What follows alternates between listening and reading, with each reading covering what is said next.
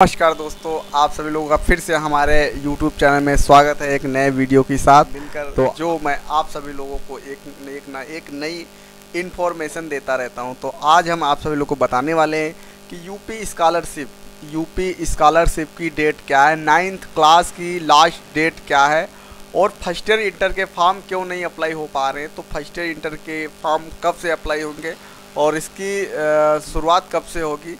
तो यही आज हम आप सभी लोगों को बताने वाले हैं कि नाइन्थ और हाई स्कूल का जो रजिस्ट्रेशन हो रहा है और इसका फॉर्म कब तक सबमिट करना होगा हमें कॉलेज में कब तक देना होगा, इसकी लास्ट डेट कब क्या है और इस फॉर्म को हम कैसे भरेंगे, पूरी इन्फॉर्मेशन हम आपको इस वीडियो के माध्यम से देने वाले हैं। तो शुरुआत से वीडियो को लास्ट तक देखें। बिल्कुल भी वीडियो को स्किप ना करें और इंटर का फॉर्म आप कैसे भरेंगे, वो भी इस इस वीडियो में हम आपको बताने वाले हैं। तो इंटर और फ़र्स्ट ईयर इंटर या B A B S C B com जो भी आप पोस्ट मैट्रिक या पोस्ट मैट्रिक अदर देन जो भी आप क्वालिफिकेशन मतलब कुछ भी क्लास कर रहे हैं तो उसका स्कॉलरशिप आप कैसे भर पाएँगे तो वो भी मैं आपको इस वीडियो में बताने वाला हूँ। तो चलिए हम चलते हैं अपने वीडियो की ओर। नाइन्थ और हाई स्कूल का रजिस्ट्रेशन कैसे करेंगे या B A B S C का रजिस्ट्रेशन कैसे करेंगे?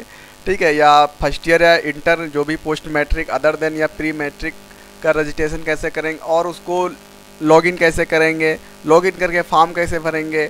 और फॉर्म भर कर के अगर कोई मान लिया फ़र्स्ट ईयर में था, पिछले वर्ष उसने ऑनलाइन करवाया था, उसका इस वर्ष कैसे फॉर्म अप्लाई होगा, उसका रिन्वल होगा तो किस प्रकार से होगा? तो यही कुछ बहुत सारी इन्फॉर्मेशन है जो मैं आप सभी लोगों को शेयर करने वाला हूँ।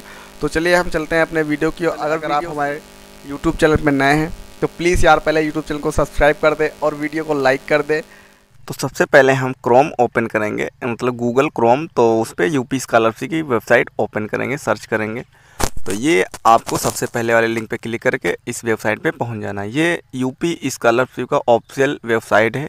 जहाँ पे इस प्रकार का कुछ आपको डैशबोर्ड देखने को मिलेगा। यहाँ पे आपको देख पा रहे हैं समस्त छात्र छात्राएँ जिन्होंने अभी तक अपने बैंक खाते में आधार सीडिंग नहीं करवाई है तो वो आधार सीडिंग अवश्य करवा लें, तभी उनका पैसा आएगा, अन्यथा उनका स्कॉलरशिप का पैसा नहीं आ पाएगा। आधार सीडिंग मतलब डीबीटी एंड एनपीसीआई लिंकिंग करवाना बहुत ही ज़रूरी है।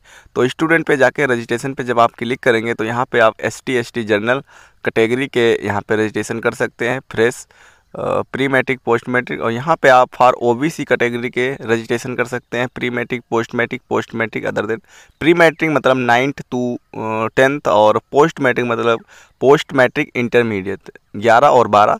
और post matric other than intermediate मतलब B A B S C B com वगैरह जो करते हैं उनके लिए है। और यहाँ पे अल्पसंख्यक कल्याण विभाग वाले जो आते हैं वो उनके इसमें करेंगे, ठीक है। तो हमारा है ओ बी सी या एस सी के तो यहाँ पे रजिस्ट्रेशन पे क्लिक करके यहाँ पे आपको अपना ज़िला सेलेक्ट करना होगा और यहाँ पे आपको अपना कॉलेज, शिक्षण संस्थान का नाम और यहाँ पे वर्ग या जाति और यहाँ पे धर्म आपको सिलेक्ट करने के बाद आपको यहाँ पे सिंपली छात्रा का नाम डालना होगा छात्र और उसके बाद आपको मोबाइल नंबर देना होगा, स्वनिर्मित एक पासवर्ड बनाना होगा। यही कुछ सिंपल सी डिटेल्स भर करके आपको जनरेट ओटीपी पे क्लिक करना होगा जैसे ही आप जनरेट ओ पे क्लिक करेंगे तो कुछ इस प्रकार का आपको आगे होम पेज खुलेगा। तो यहाँ पे आपको ओटीपी डालना होगा, जो आपने मोबाइल नंबर दिया था। उस मोबाइल नंबर पे एक ओ जाएगा ओटीपी सबमिट करके आप रजिस्ट्रेशन कर सकते हैं। ओटीपी हमने डाल दिया और कैप्चा डाल दिया और submit OTP and proceed registration पे हम जब क्लिक करेंगे तो आगे ये तो यहाँ पे जब आप सबमिट पे क्लिक कर देंगे तो आपका रजिस्ट्रेशन हो जाएगा और यह को रजिस्ट्रेशन नंबर मिल जाएगा। ठीक है तो अपना रजिस्ट्रेशन नंबर और पासवर्ड याद रखना है। ठीक है, उसके बाद रजिस्ट्रेशन जब कर लेंगे तो आपको फिर से होम पे जाना है सिंपली जब होम पे जाएँगे स्टूडेंट फ्रेश लॉगिन मतलब इनका हमने फ्रेश किया तो फ्रेश लॉगिन पे क्लिक करके प्री मैट्रिक स्टूडेंट पे और यहाँ पे आपको 2023-24 का रजिस्ट्रेशन नंबर डाल देना और मोबाइल नंबर जो आपने दिया था वही मोबाइल नंबर डालना है और अपना पासवर्ड जो आपने पासवर्ड बनाया था वो पासवर्ड डाल करके और ये नीचे दिया कैप्चा डाल के सबमिट करके आपको फॉर्म भरना है। आगे फॉर्म कैसे खुलेगा मैं अभी आपको बताने वाला हूँ। तो वो फॉर्म कैसे खुलेगा तो मैं आगे भी आपको बता रहा हूँ।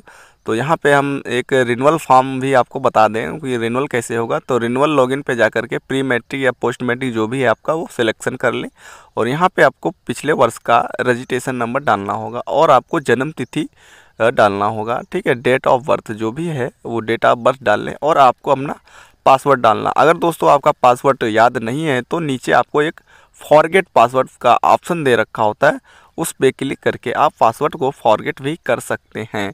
ठीक है, अगर पासवर्ड फॉरगेट करना नहीं आता है तो उसके लिए मैंने वीडियो बना रखी है। ठीक है डिस्क्रिप्शन में जा के आप उस वीडियो को देख सकते हैं नीचे फॉरगेट पासवर्ड तो यहाँ पे हमने सिंपली डिटेल्स डाल के भर ली है और सबमिट करेंगे तो कुछ इस प्रकार से दो तेईस एंड चौबीस का फॉर्म खुल रहा है। तो यहाँ पे बहुत ही आस, इस वर्ष सिंपल फॉर्म है। आपको यहाँ पे आधार नंबर वगैरह डाल करके कैप्चा डाल करके वेरीफाई कर लेना है आधार नंबर। ठीक है होम पे जाएँगे और सिंपली बहुत ही आसान तरीका दे रखा है आपकी। मोबाइल भी सत्यापन है तो आपकी मतलब आधार कार्ड पे मोबाइल नंबर वही लगा होना चाहिए। और एनपीसीआई सत्यापन हेतु एन पी सत्यापन मतलब डीबीटी और एनपीसीआई लिंक है या नहीं लिंक है बैंक से, तभी आपका पैसा आएगा। फिर ठीक है, ये कुछ, चार, पाँच, सात चरण हैं इनको कंप्लीट करके आप अपना फॉर्म भर सकते हैं बहुत ही आसानी तरीके से। यहाँ पे चेक करंट स्टेटस पे आप जब क्लिक करेंगे तो यहाँ पे आपको आपका पिछले वर्ष का विवरण दिखाएगा कि इनका स्कॉलरशिप पिछले वर्ष आया था या नहीं आया था। जैसे तो इनका देख पा रहे होंगे कि पिछले वर्ष भी इनका स्कॉलरशिप आया है। अगर स्कॉलरशिप अगर नहीं आया तो, तो यहाँ पर वो कुछ इरर जैसा कुछ लिखा होता रीज़न लिखा होता क्यों नहीं आया है? तो यहाँ पे एक सात चरण हैं रजिस्ट्रेशन हो चुका है application form upload documents income caste and Aadhaar थोकेंटिंग application lock on received hard copy at institute यहाँ पे हम इनको कर देंगे लॉग आउट